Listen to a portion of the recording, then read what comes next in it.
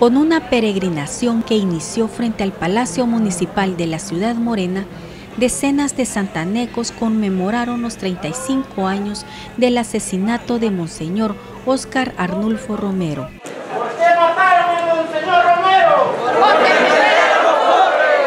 Se ve, se siente. Romero está presente.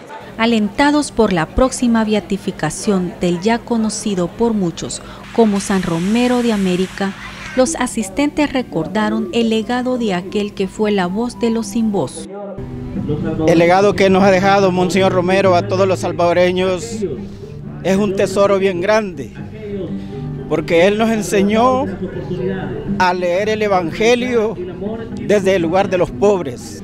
Y para nosotros salvadoreños sentimos muy orgullosos, porque tenemos nuestro, vamos a tener nuestro primer santo. Nosotros, bueno, hacemos, hemos hecho durante mucho tiempo esta caminata y hoy con más fuerza, con más ganas, pensando que, bueno, el 23 de mayo eh, va a ser la beatificación de Monseñor Romero. Eh, es un esfuerzo importante de la Iglesia Católica, de todos los hombres y mujeres que creemos que Monseñor Romero también fue un profeta en esta tierra y que predicó la palabra de Dios.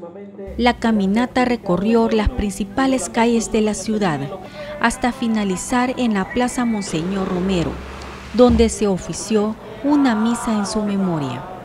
Los que caminan por la vida, Señor, sembrando tu paz y amor. Estar agradecido con Dios, porque eso lo esperábamos desde hace mucho tiempo la beatificación de Monseñor, sabiendo que eres un mártir, que fue el defensor de los pobres, los que somos de la mayoría que él defendió, somos felices de poderlo proclamar eh, santo a Monseñor Romero, San Romero de América.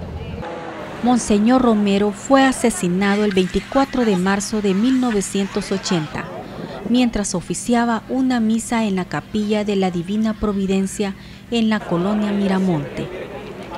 Fue declarado mártir por el Papa Francisco en febrero de este año y será beatificado el 23 de mayo en la Plaza Divino Salvador del Mundo en la capital salvadoreña. Con imágenes de Santiago Ayala, Areli Parada, SA TV Digital.